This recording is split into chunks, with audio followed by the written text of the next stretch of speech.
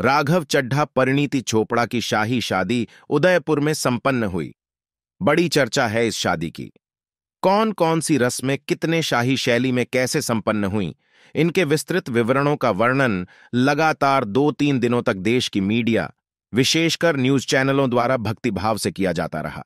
लेकिन ये सवाल किसी संचार माध्यम ने नहीं पूछा कि 2019 में अपने चुनावी हलफनामे में अपनी वार्षिक आय दो लाख चालीस हज़ार रुपए सालाना यानी बीस हज़ार रुपए महीना घोषित करने वाले।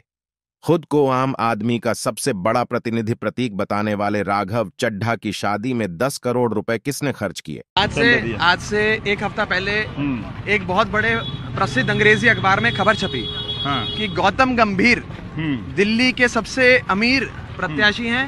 हाँ। और राघव चड्ढा दिल्ली के सबसे गरीब प्रत्याशी अच्छा मैं गूगल सर्च करके नहीं आया हूँ। हाँ, आप तो- सबसे गरीब है।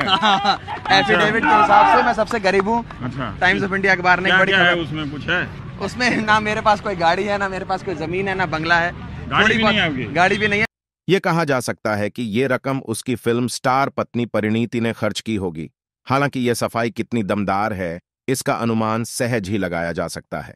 लेकिन यदि इस सफ़ाई को ही सच मान लिया जाए तो भी यह सवाल प्रासंगिक है कि पिछले नौ सालों से देश में खुद को आम आदमी के रूप में प्रचारित कर रहा, पूरे देश के नेताओं को भ्रष्टाचारी बताकर कोस रहा व्यक्ति, मौका मिलते ही राजाओं महाराजाओं की नकल करने से खुद को रोक क्यों नहीं सका?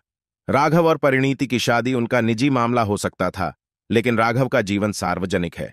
और सार्वजनिक जीवन में उसे पहचान ही सिर्फ़ इसलिए मिली क्योंकि अरविंद केजरीवाल समेत आम आदमी पार्टी के अन्य नेताओं के साथ पिछले नौ सालों से वो सादा जीवन उच्च विचार का राजनीतिक पाखंड करता रहा है। पाखंड इसलिए क्योंकि एक राजा के महल को किराए पर लेकर की गई राघव की शादी के शाही जलसे ने राघव और आम आदमी पार्टी के सादा जीवन उच्च विचार का सच देश को बता दिया है।